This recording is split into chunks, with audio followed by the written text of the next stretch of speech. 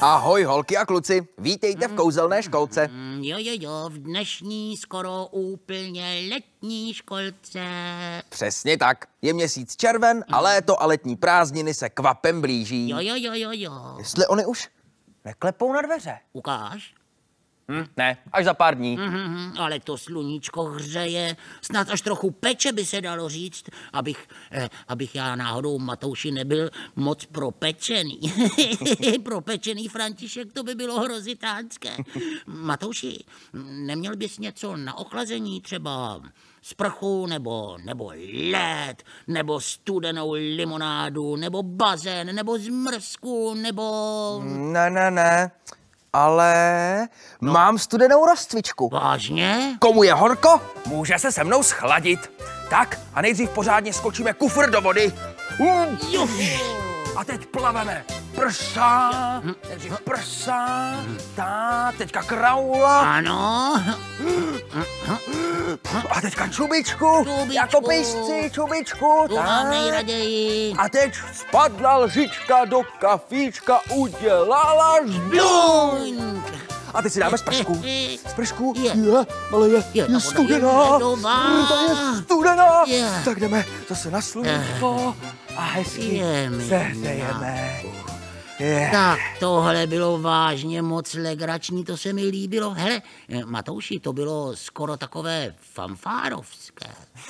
A fanfárovská bude i tahle pohádka. Na hradě okoři světla se rozhoří, bílá paní nejde vůbec spát. A to proto, že má obrovskou radost. Vy jste totiž nezapomněli, že mě bílá barva už vůbec, ale vůbec nebavila. A že jsem chtěla alespoň jednu jedinou změnu. A vy jste mi poslali návrhy na červené čepce. Prý je u vás nosí i nějaký skřítek Filipek. Hm, nevím, ale já jsem si podle vašich návrhů nechala ušít tento červený čepec. Jak mi sluší?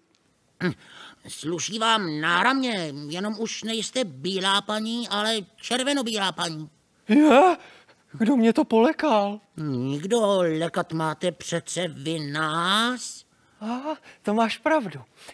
Bu, bu, bu, bukša! Ale proč já vás vlastně straším? Já jsem vám přišla poděkovat za vaše obrázky. Moc a moc vám děkuji a když se v létě uvidíme někde na hradě, zamáváme si. Ahoj! Hm, a je fuť. Ale Matouše nám sem tedy poslat mohla. To byla rychlost. Jen jsem pomyslel, že už mám být ve školce a objevil jsem se tady. Za to může bílá paní s červeným čepcem, prosím. Bílá paní je celá bílá a nemůže mít červený čepec, ty popleto. Ale to teda může, zvlášť když si ho moc a moc přála. Jen se podívej, tady je spousta obrázků od dětí, které namalovali návrhy. Ukáž. No, No, no vážně? Samé bílé paní s červeným čepcem. No vidíš. Podívej, hned ta první. Tak tu nám poslal staník syrový. Děkujeme. no ne. A A to co je přímo další? ukázková. A další tady máme, tady takhle k tobě to položím. Mhm. A další i s kouzelnou školkou. Panečku. Podívej, to nám poslal Marek Šperk. Hm, a tahle ta bílá paní je červená dcera. Tak. A další, no tady máme dokonce dvě bílé paní od Aničky. hm, A vidíš, prohodili si čepce. jo, jo. A co další obrázek? Ukaž. A další obrázek, no tady podívej. A zdraví nás dokonce, paní. Od Nikolky. Píše, ahoj, kouzelná školko, my tě taky zdravíme, Nikolko. Tak, a další, no podívej, tady jste dokonce i vy všichni tři. Od na Marušky. mou duši, na mou duši. Bílá paní s Františkem a Faninkou. Tak, a další od Nikolky. je mi ne. A ta má blonděté vlasy. A krásnou červenou čepici. Máš tam ještě nějaký obrázek? Ještě no mám, mám jich tady spoustu, koukej, mezi hradbami. Na mou duši, na psí uši. Od pa. Karolínky, děkujeme. Hm? A další? A další, tady to je taková bílo-modro-červená, paní. Hm? Od Elišky, děkujeme. Děkujeme Elišce a ještě máš nějaký? A ještě no, podívej. To je obrázek v obrázku od Nelly. Páni, to je nádherná bílá paní.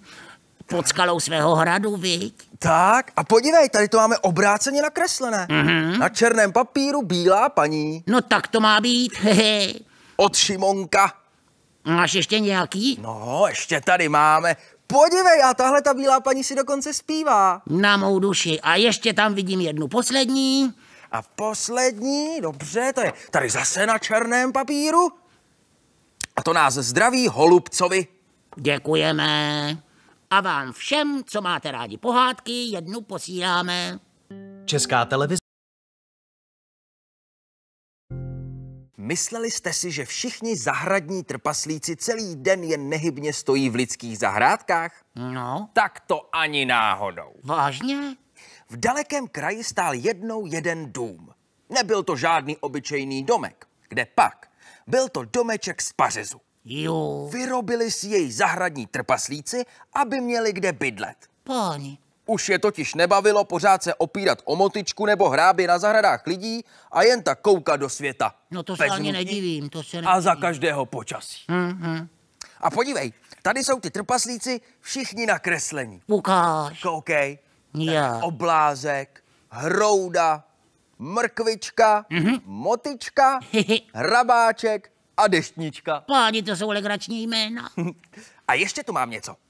Šestice nerozlučných kamarádů ve špičatých čepičkách vás vtáhne do světa plného kouzel, snů a dobrodružství. Já. Vydejte se s nimi na záchranou výpravu do tajuplné říše lesních skřítků a prožijte po cestě spoustu legrace, ale i napětí a nečekaných příhod. Já. Plaví se po řece, ocitnou se v jiném světě, seznámí se s lesními skřítky. Páni, to musí být úžasné. Takže tuhle knížku Trpaslíci z pařezového domečku vám určitě doporučuju. Teďka o prázdninách na ní budete mít spoustu času, tak si ji celou přečtěte. Určitě nebudete litovat. A prázdniny sice zaklepou až za pár dní, ale první letní den ten zaklepe už zítra. Je, hurá! No tak toto musíme řádně oslavit. Třeba, třeba je, já mám nápad. Zmrzlinou. To není vůbec špatný nápad. Já ho přivítám třeba, třeba vanilkovou. Je, tak to já si dám radši jahůdkovou. Mňam, mňam, mňam, mňam, A co vy?